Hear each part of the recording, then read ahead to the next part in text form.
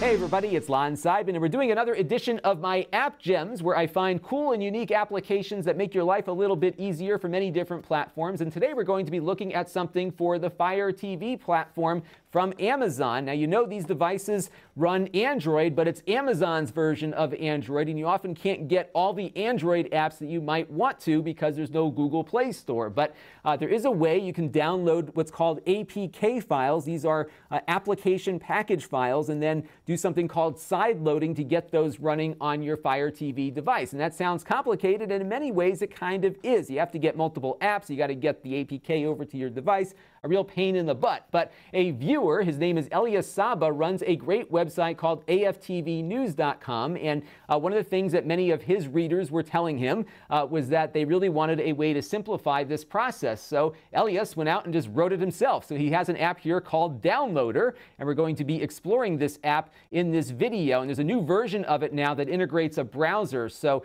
uh, really cool stuff, very uh, easy way to get these APK files downloaded and sideloaded into your Fire TV TV in a single step. Now, I do want to mention, in the interest of full disclosure, this app is free, not only to me, but to you and everyone else out there. So you can grab it for free off of the uh, Amazon App Store. All the opinions you're about to hear are my own. Nobody is paying for this review, and no one is reviewing this content before it is posted. I do these disclaimers on every one of my videos, so I just wanted to make sure we got it in here as well. So you saw that I booted up the app, and the first thing it asks me to do is type in a URL of the file that I want to download. Now, prior versions of Downloader required you to know know the exact file name and URL of that APK file. And if it's buried somewhere on a site, it can be really difficult to get to. So what he's done here uh, is added a web browser to the mix. And this browser actually works pretty well just as a web browser on your Fire TV too. So you get uh, kind of a two for one here. So what I'm going to do is just try to download a uh, current version of Kodi. So I'm going to go over to the Kodi website at kodi.tv. And I did try to get my uh, keyboard trackpad combo to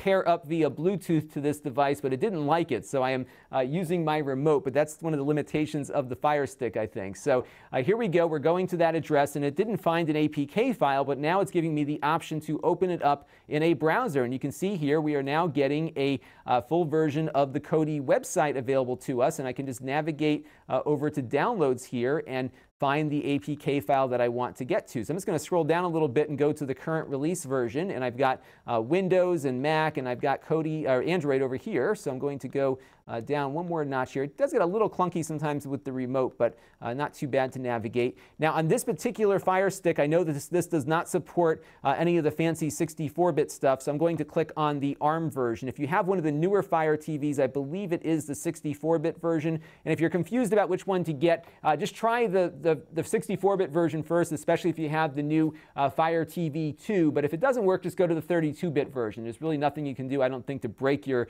uh, device here. So I'm going to click on ARM, and now it's going to download uh, the 87 megabyte file here. So we're going to let this download real quick. My internet connection is a little spotty this evening, and uh, when it's done, I'll show you what happens next. Okay, so we're almost to the end of the download process here, and uh, when it's done downloading, I currently have the app set to automatically install the APK. So once that download was done, it immediately went to the install process here. I do have to answer a uh, little security permissions thing here to give it access to all the things that it wants. I'm going to click on install now, and uh, Kodi is now installing itself onto my Fire TV stick, all without having to go to the Amazon uh, App Store and also without having to know the exact file name of the APK on the Kodi website. I was able to browse to it uh, using my remote from my couch, essentially, if I was sitting on my couch, and get this thing going here. So we're going to let this finish installing, and when it's done, I'll show you where the, oh, there it is, it's already done. So I'm just going to go over here and click done. I could open it right now if I want to, but I do want to show you that it will actually put it into your apps menu here. It also gives you the option here to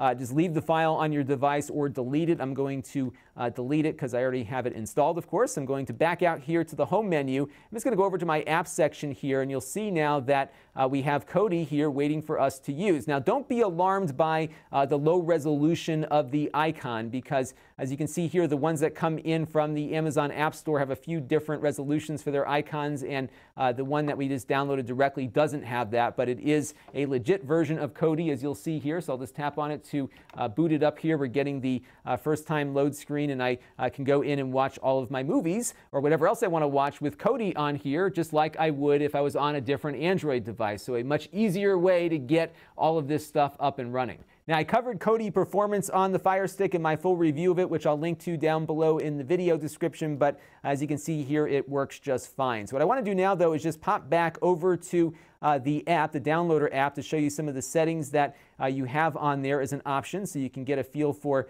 uh, some of the things you can configure it to do. So let's just load it back up here again real quick and uh, we'll drop over to some of the settings. So you can see here how the web browser works so you can get access to that. Uh, you can navigate with your remote to go into different portions of the app here and he's got a really nice uh, on-screen instruction page here also to see how everything works. And again, it really does work uh, pretty decently as a go-to web browser. Now, one of the things it does by default is disable JavaScript, but if you're browsing an APK site that requires it, you can go into the settings here and turn that on. Uh, you can also disable the auto install and you can change the folder in which these APK files are downloaded to uh, when you ask it to download those files. And you can go over here and see what files are currently downloaded to your device. I had downloaded this in a prior take, even though we deleted one of them.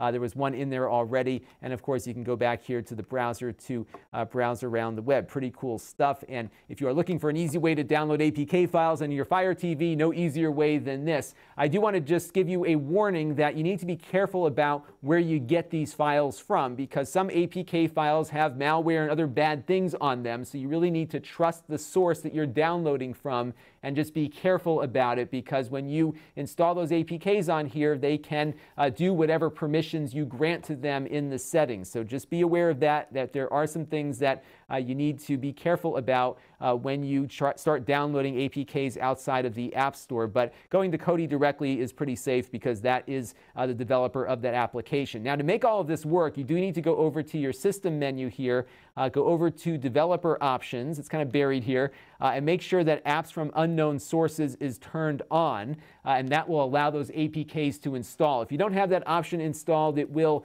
give you some direction within the app as to how to do that. But if you do that first, you don't have to go through those steps after you start downloading something. It's a little bit easier to get all of that done. So that is Downloader from AFTVnews.com, a great website that uh, I frequent quite a bit to find out some of the new things that uh, are coming to the Amazon Fire TV ecosystem. Elias does a great job with that site, and I think he got started from uh, something that he bought from me many years ago because I reviewed the very first Fire TV probably about three or four years ago now, right when it came out. And then, as I often do on the channel, after I'm done with something that I'm not going to use, I resell it uh, at a discount. And he was the person that bought it. And I think he got his start from the device that I sold him. So that was a, kind of a neat connection as to uh, how he got this site going. But it's a great resource. Definitely check it out. And I really just love the fact that uh, he found the problem and he was able to solve it and really help people out. The app is free, but if you like it and find it useful, uh, you can give him a tip here right inside the app with your Amazon account to uh, thank him for uh, the work that he's doing on the site as well as with the app. And I would love to see him come up with a version of this for the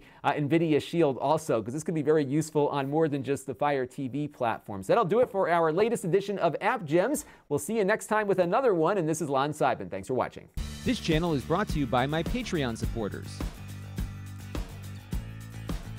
If you want to help the channel, you can by contributing as little as a dollar a month.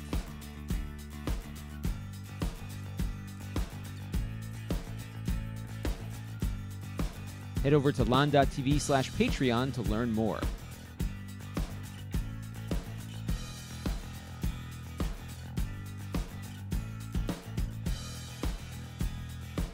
And don't forget to subscribe. Visit lon.tv slash S.